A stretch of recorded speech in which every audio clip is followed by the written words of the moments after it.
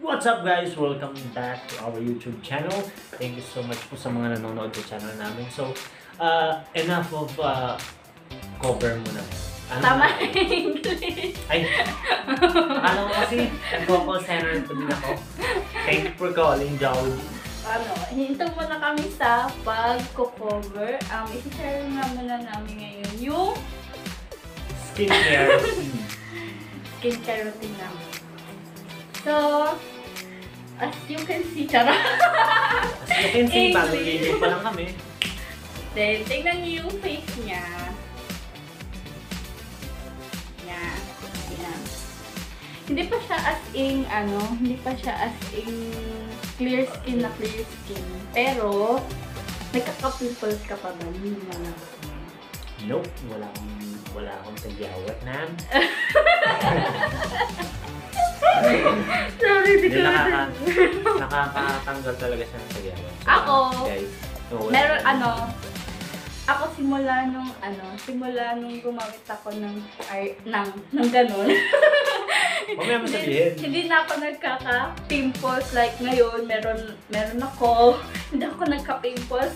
Pang, pang, pang, pang unang araw, second day, sa ganun. Hindi na ako nagkaka-pimples. Yan. Ganun.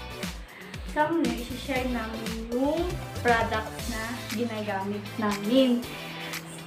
Sa halagang, wala pang ano no, hindi pa lagpas ng isang daan. Yung Well, yung, product na yung ginagamit product na yun, namin. hindi pa lang masasandaan. So, sulit na sulit siya gamitin, di ba? Gusto? Sobrang sulit. Hindi, hindi. So, ito. Ito na, ito na. Share namin RDL That's RDL Baby Face Baby Baby, Face Solution. number 3. Number 3. So, number 3 yung ginagamit namin guys. Number 3.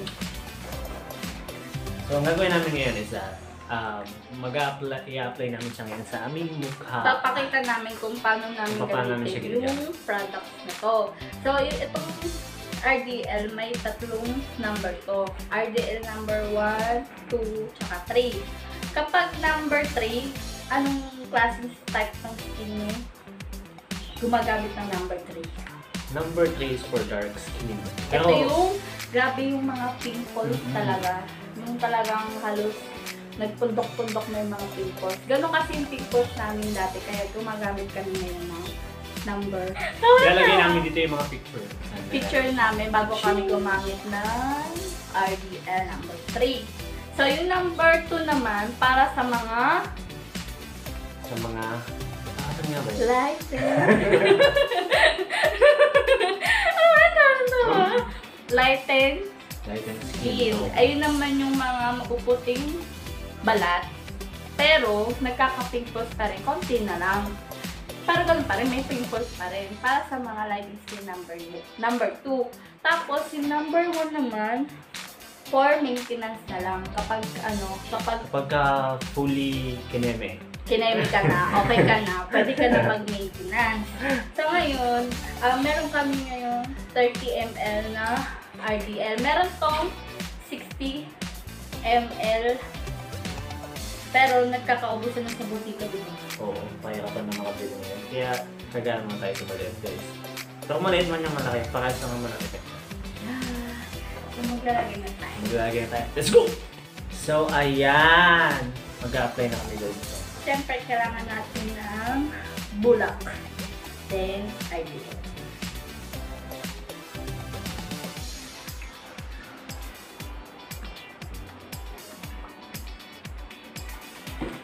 Kailangan ba talaga? Hindi na, ito sa lamin, no? Oo, diba? Panis. Yan. Okay. Sa... Dapat ba ganito? Irarap talaga yung ano? Yung... Hindi. Pagka umpisang gamit nyo pa lang guys, huwag na huwag nyung gagayahin to. Kasi magsisisi kayo. Dampi-dampi lang talaga sa Dampi-dampi una lang. guys. Ganyan. Hanggang matap, yung sa amin kasi, tapos na siya magbalat. So, okay lang kahit kahit pinanyan yun. Kahit i-rub na namin siya kasi wala na kami nararamdaman. Manhid, manhid na Manhin. Umuhugot ka pa eh. Lagi ko balik guys eh. Grabe naman. Di ba? Yan. Ganyan. Siyempre sa leeg. sa leeg din, para hindi tayo makampugot pa ulo. Yan. Diba? Alaga Lalagyan nyo din guys yung ilalim ng mata nyo. Yan. Ha? Pero huwag nyo masyadong gaganon. Huwag nyo masyadong Huwag naman sa mata. yung Yan. bukas yung mata mo lalagyan. Yan. Tapos ipapause na make sure na nakapikit kayo pagka lalagay yung isang paglalagay. Nakapikit ako nga dilat na dilat dito. Eh, kasi hindi ko kaya yung tapang eh. Ah. Sobrang tapang. Ito, nabibili to guys. Ano, 75 pesos lang siya. Siyempre may patong na yun. Sama na shipping fee or mga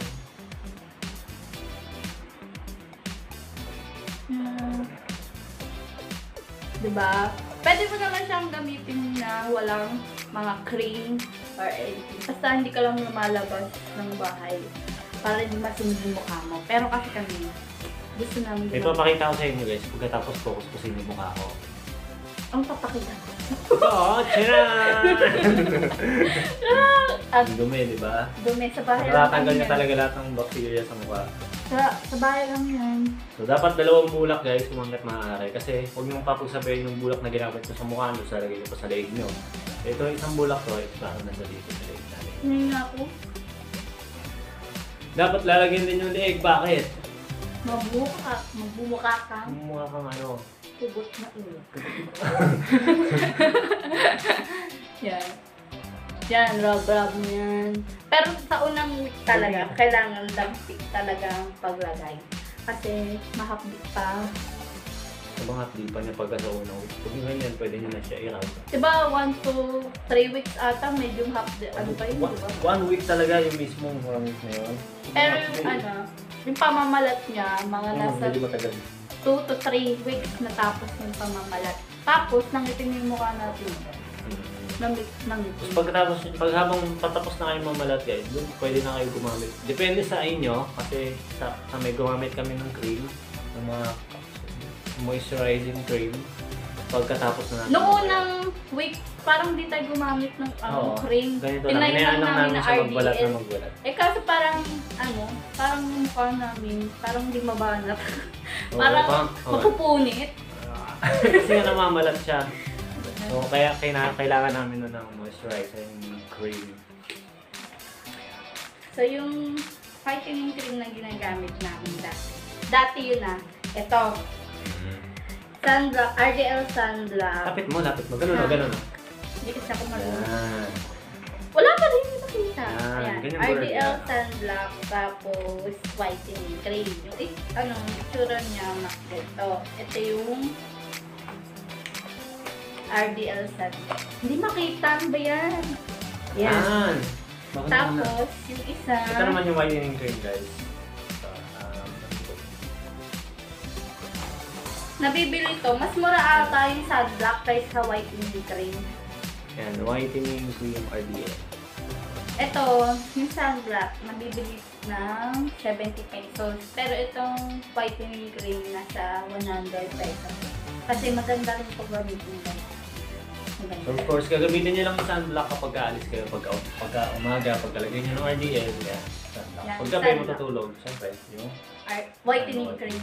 Whitening cream na yung gagamitin nyo pag bag, gabi bago matulog. sir. Dati namin ito ginagamit guys. Kung mga 3 weeks Ah, hanggang 3 nag-uumpisa pa weeks lang. ginagamit namin to.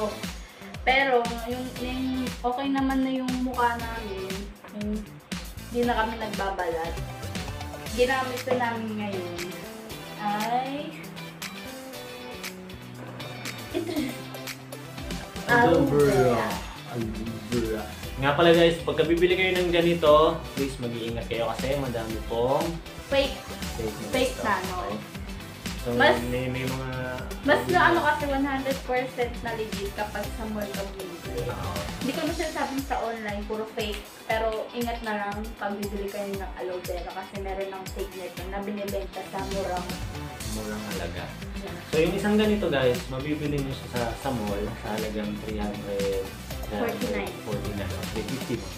Pero, Pero yung, eh, that's the original price. Pero yung kapag bibili niyo siya sa online, may mga nagbibenta nito. 80 ganito nga lang pesos, 80 pesos. 42 pesos, ganyan. Pero, siyempre, doon ka na sa sure ka, kahit mahal at hindi ka. At least sure ka. so, alo nga baka naman. Yung 349, sulit na sulit naman siya guys. Hindi Malaki. naman siya mauubos ng isang buwan lang. Kaming Oo. dalawa gumagamit nito pero hindi pa namin nakakalahati. Oo. Tapos guys, bago nyo siya i-apply, nakita nyo, daldal kami ng daldal habang, ano, kasi pinapatuyo namin yung RDL na nilagyan namin sa mukha namin. Oh, patuloy nyo na Kapag 3 matuyo na siya, ayun na siya, wala, wala na siyang basta-basta, sa kanya na siya ilalagay. Okay? So maglalagay na tayo. Ah, maglalagay na siya. Tapos yung ginagawa pala namin dito is, nilalagay namin siya sa ref. Ah. Hindi, hindi sa freezer, syempre maninigas yan. Yung, sa ano lang, ano, Mas maganda kasi siya i-apply sa mukha kapag malamig. Malamig. Siya. Nakakilig ko na na. Ay, di pala natin napakala yung sabon natin. Ayun nga pala. Ay, mamaya na lang. Sige, ito po. Wala habang lalagay mo na. Wala kasi kaming pandakot. Kami, kami-kamay na lang. Malinis naman yung kamay guys. Kakakamot ko lang ng ilong kanina. Ganyan. Uh, lamig. Masarap sa mukha siya pag malamig. Kaya mas, ano, mas pipili namin maglagay, ay ilagay sa ref. Yan. Ganito yung original guys. Oh. As you can Kasi, may hindi fake siya natata, hindi Yung siya na, fake niyan. parang tubig. Parang nakadikit na talaga. Ayan, parang nag-melt pa siya. Parang natutunaw pa siya. nag- Nahuhulog pa siya. Yung Hindi siya nahuhulog ka. Ano ba? Parang, yung original ito parang paste na hindi hindi gumagana, hindi gumagalaw. Hmm. I mean, yung, yung peke pala yung sinasabi ko na hindi gumagalaw, parang paste.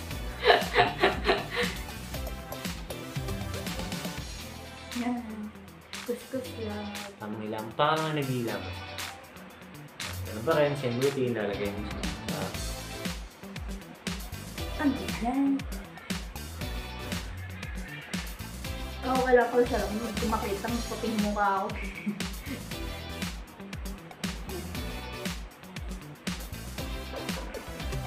sa leeg. Sila Indian guys. Siyempre nilagyan natin ng RDA yung leg natin kanina. Lalagay na tayo. Yan. Lamig. Sa bato.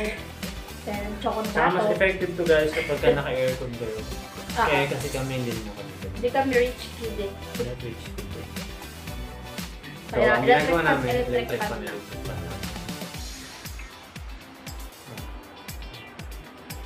Ayan. So, wait lang. Sasaksak ko lang yung electric fan. Guys, ganito yung electric fan namin. Hindi, actually, may electric fan kami maganda. Pero kasi ito, uh, Mas nakawakan. ano kasi, labas na labas yung hangin. Ayan. Mm. Wala kayong aircon, mag-electric fan na lang kayo. Tsaka yung, Kasi para pagka hindi niya siya pinapatuyo, ano guys, ako, makukuha ng, makukuryente. yan, okay na. Oh, lamig. So yung sabon na ginamit namin kanina guys, is ito. Ayan, nung naligo pa lang. RDL Papaya Whitening Soap with milk with vitamins A, C, E. Ito yun. So sabi nila, nakakaputi daw to kasi sabi lang. Kaya tinayin namin. Nabili natin Actually, nga sa- namin yung tinrayang sabon na yan. Oo. Tamang Kasi ka para mas pumuti yung mukha namin. Pati para pumantay sa skin namin, sa, ano, sa body namin yung mukha. Kasi pumuputi nga yung mukha, tapos yung katawan na itim, di ba? Kaya gumamit kami na soap.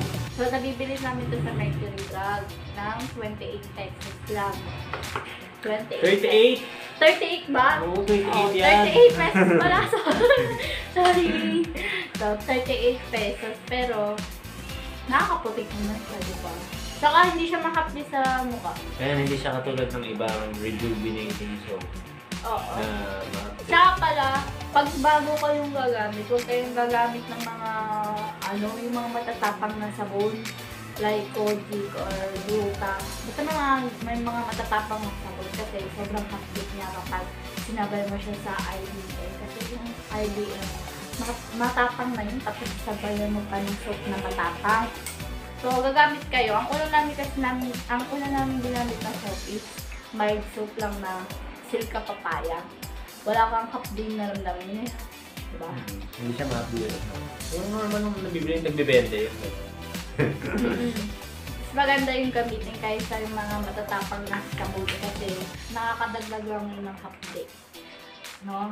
Pero nung il- ilang beses ba natin ito ginagamit sa isang araw?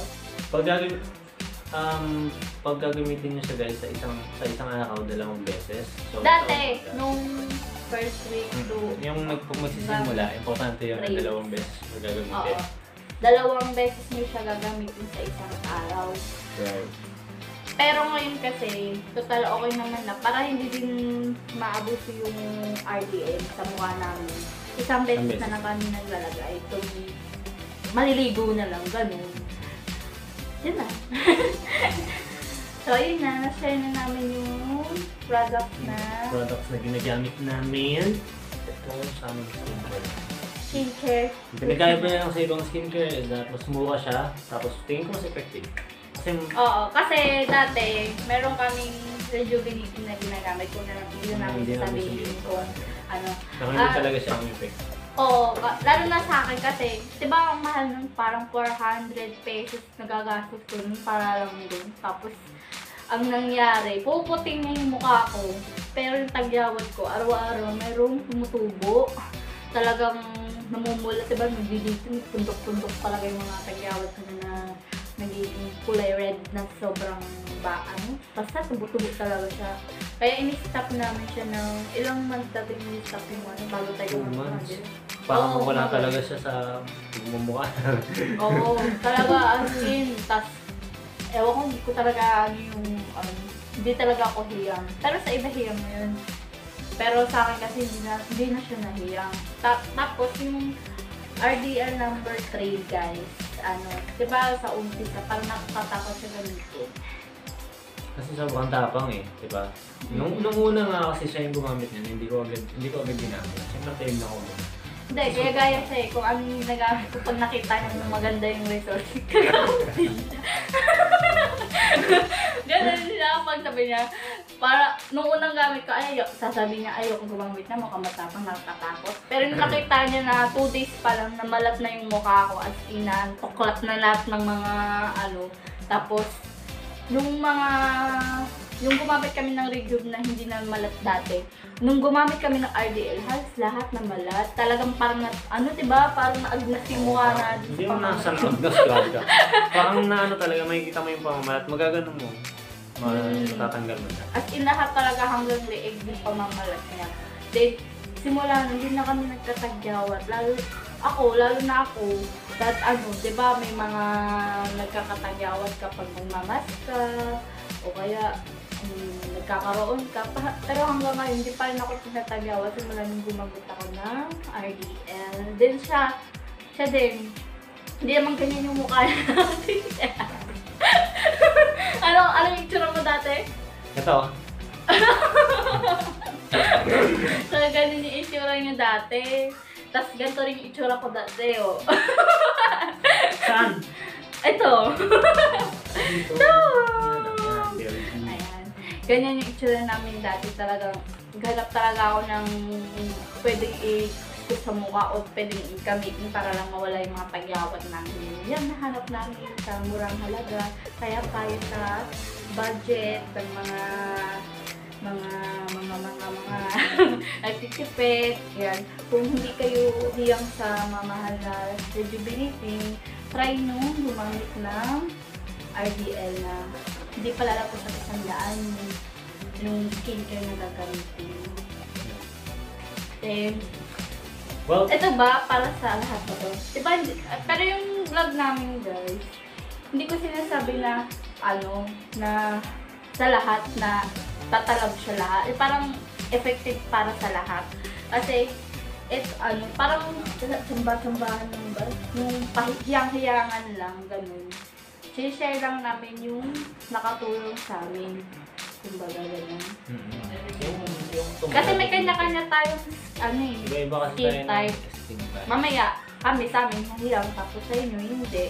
Pero why, itry nyo na lang kung ano, mga one week kapag may nakita kami pagbabago naman sa mukha nyo, kung ang- yung mga pimples nyo natuyo, ibig sabihin, effective yun. Pero kung mas lumala, ibig sabihin, hindi lang. Ganun lang. So, yun lang. Well, that's all, that's all for our video, guys. Ah, sana nagustuhan niyo yung vlog namin ngayon. Ah, First time vlog namin First, this is our first vlog. Kasi puro kami kanta. Kahit ikaw is singer. Ngayon, share lang natin yung rejuvenating, ay, rejuve, ay, skincare na ginagamit namin. So, na. Thank you for watching. Bye-bye.